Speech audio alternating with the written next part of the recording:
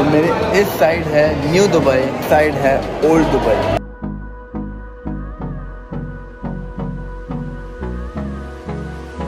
eighty me close till I get up. Time is barely वही है ना मेरा के साथ 81 मिलियन व्यूज़ हो चुके हैं लगदी कसम में और लगदी कसम को गाया है राम जी फाइनली मम्मी को मैं डिनर कराने आया हूँ यहाँ पे। डिनर द स्काई ये क्या रहा है welcome to my YouTube channel कहते हैं आप लोग तो यार अभी टाइम पाँच बज के अब जा रहे हैं दुबई देखने जा रहा हूँ मैंने आज तक अपनी लाइफ में कभी नहीं किया। तो एक बहुत ही अच्छा एक्सपीरियंस होने वाला है जो मैं अभी नहीं बताऊँगा अपना फ्रेंड से Habibi come to Dubai hello Ram ji sir कैसे हैं? दुबई पहुँच चुके हैं हम। बहुत ही कह सकते हैं अच्छी खासी फ़्लाइट थी। मैं अभी तक सोया नहीं हूँ एकदम। और भूख भी बहुत तेज लग रही है तो अभी हम सब जा रहे हैं अपने होटल वहाँ जाएँगे थोड़ा पेट पूजा करेंगे थोड़ा रेस्ट करेंगे। उसके बाद हम अपना आज का डे आउट प्लान करेंगे। ये हम जा करने वाले हैं so you guys stay tuned beautiful picture आई है। फाइनली अभी हम लोग वहाँ पे हैं जहाँ पर दिखाया जाएगा दुबई का future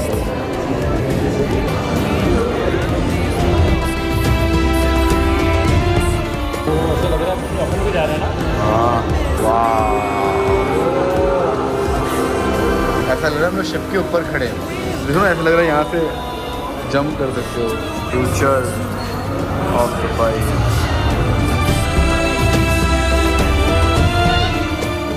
and one of the most beautiful thing जो दुबई आने के बाद जो मैं कभी मिस नहीं करता, वो ये है।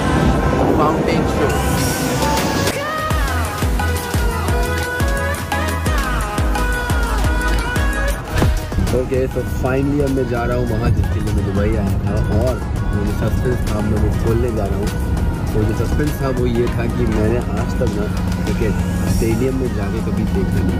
तो ये मेरा फ़र्स्ट टाइम हुआ कि मैं स्टेडियम में जाके लाइव क्रिकेट मैच देखूँगा। तो फाइनली हम लोग पहुँच चुके हैं स्टेडियम ब्रदर ये एक्साइटमेंट है तुम्हारी?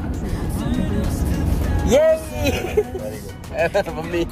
क्या स्टेडियम पहुँच चुके हैं मैच देखेंगे। और अब मैच देखेंगे इससे पहले मैं सिद्धार्थ का मैच देखती थी जिम्नास्टिक का इसके बाद आज मैं पहली बार क्रिकेट मैच देखने आई क्या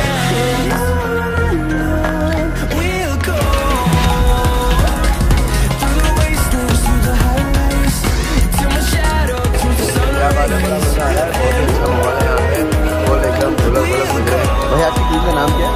भाई एक है डेल्टा वाइपर और दूसरी Abu Dhabi knight riders Dhabi right night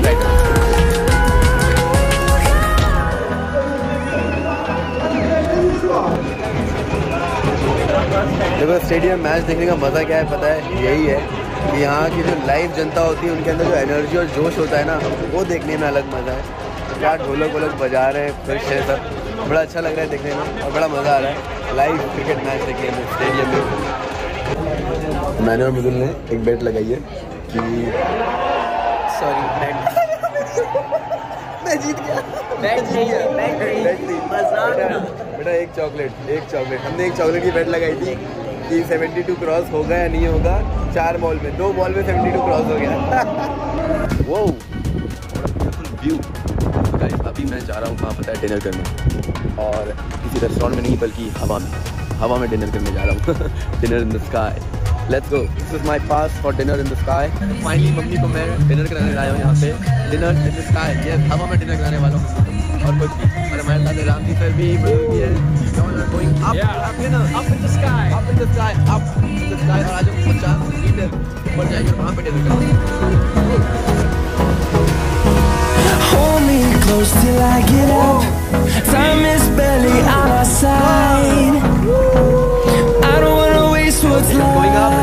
The storms we chase are leading us, and love is all we'll ever trust.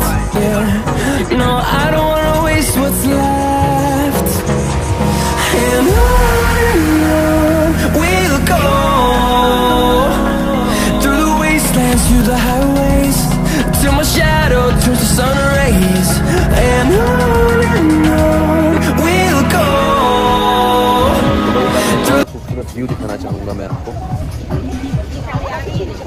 Atlantis hotel amazing hotel amazing view तो आप कहते हैं ta ta bye bye with this fire oh my god